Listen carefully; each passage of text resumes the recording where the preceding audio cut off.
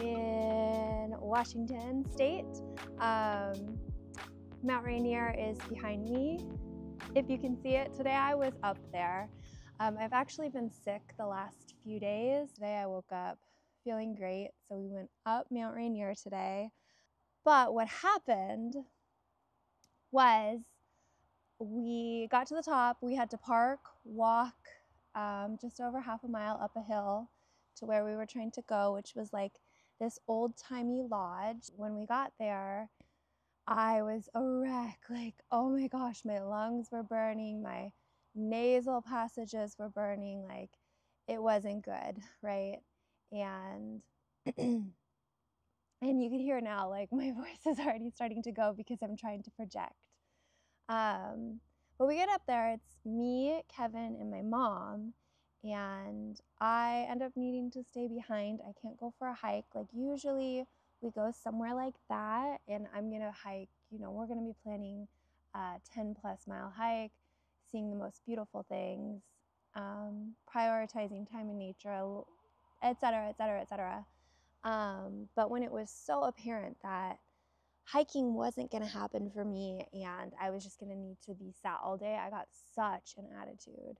I I was really ill a few years ago and I think because of that like being sick since then, like just getting a cold like I have, I just have such an attitude about it. Like I don't want to miss a single day of my life. Like I don't want to miss a single hike. It's kind of triggering, honestly. It brings up a lot for me um, to have to sit back and be left behind. So I was pretty, pretty, pretty miserable, to say the least. And so Kevin and my mom went up the trail, and I sat down inside and went on my phone. I actually, went on Zillow and looked at houses we can't afford. looked at um, TikToks, and literally just stewed in it like stewed in my like i was angry and just generally pissed off um stewing stewing stewing. I guess the thought that hit me was like i need an attitude adjustment. This isn't right. So i was inside right? Like in a beautiful alpine setting. I was pissed off inside a lodge and so i stood myself up went outside um, and sat down. And I ended up sitting down in a spot that was close to a table with um, uh, people sat from two different families were sat at that table. And I sat looking at the mountains and I overheard the woman or one of the women telling the other couple about how her and her husband were there because they had just lost their son um, who had just died a couple months prior. And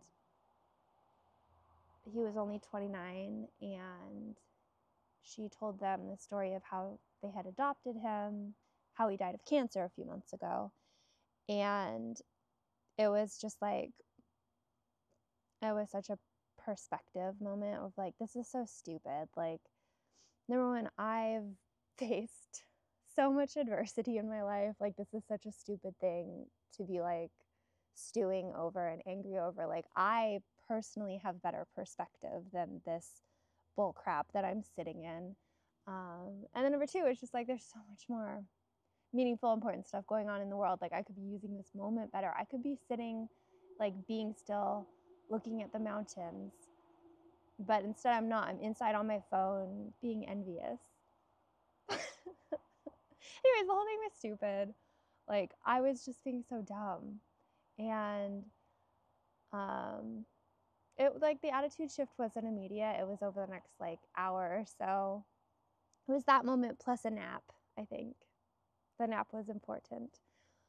But all that to say, I think that even just like being away from, you know, in this uh, kind of funny in between moment that Kevin and I find ourselves in, we're not necessarily serving anybody right now other than ourselves. Like, we're not serving in our usual spaces. And I feel like it's made me a much more selfish person. And it makes me want to find new ways, even if it's short term ways, to like serve others because like that was that was ridiculous. Like my attitude today was ridiculous. And it just makes me think like majority of the time, majority of my life, I am serving others. And right now, because of X, Y, and Z, I'm not. And I'm the worst person for it just after a few months. Like, how much worse could I become? like, oh, so perspective is important. And um, that woman who is talking about losing her son was like very obviously a believer and went on to talk about like trusting in God and just how thankful she was to have known her son. And it was all very moving. Um,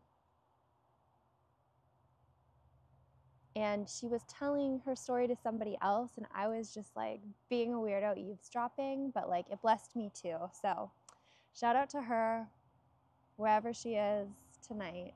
I'm sure she's deep in her grieving process right now, and I hope she continues telling her son's story because I hope it blessed that other older couple who were up hiking because it blessed me. And yeah, I think that's all I have to say today. My voice is probably going to give out soon. This is the most I've actually projected my voice in a few days. Um, but I'm going to continue to feel gratitude for the fact that I get to travel so much instead of having a stinky attitude about like moments missed. Because like I am so privileged, I am so blessed. And I get to look at this mountain and um, be thankful and experience joy. So I'm going to do that for the remainder of my time here. Or at least I'm to try.